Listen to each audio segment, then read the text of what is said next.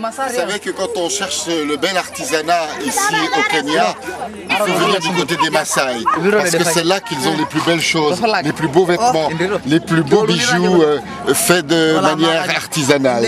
Si vous voyez un jeune homme Maasai qui porte cet accessoire, ça veut dire qu'il n'est pas encore marié. Il n'a pas encore tué son lion. Le, le village est tout entouré euh, de broussailles et d'épines parce que c'est une protection contre les prédateurs, contre les animaux qui pourraient s'attaquer aux troupeaux.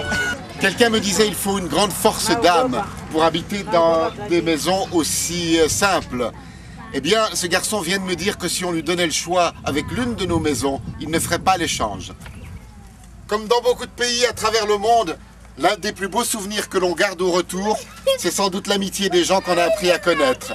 Et j'espère que vous aurez l'occasion, vous aussi, de venir au Kenya pour le constater. Bye bye